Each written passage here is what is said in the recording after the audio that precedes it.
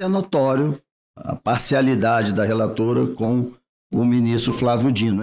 Está sendo uma coisa tão descarada e tão clara para todos que esse relatório todo mundo já sabe que é para blindar o Dino. Eu quero dizer para todos aqui que eu não vou jamais, em hipótese nenhuma, me intimidar com quem quer que seja.